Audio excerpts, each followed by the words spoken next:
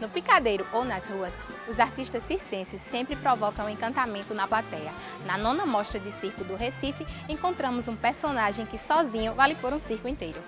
José Carlos da Silva, o palhaço Birrinho, carrega consigo um monte de personagens e habilidades de picadeiro. Sua trajetória no circo começou bem cedo e já dura 54 anos. Quando eu comecei em circo, com 9 anos de idade, era vendedor de pipoca, aí depois passei a ser trapezista, depois de trapezista aí fui aprender a ser palhaço. Aí o dono do circo respondeu, rapaz, você tem jeito para palhaço. Aí foi quando eu comecei pintando a cara, e entrando no matinê para as crianças e fui tomando gosto. E daí em diante, até hoje, 54 anos já pintando a cara para fazer alegria para o povo.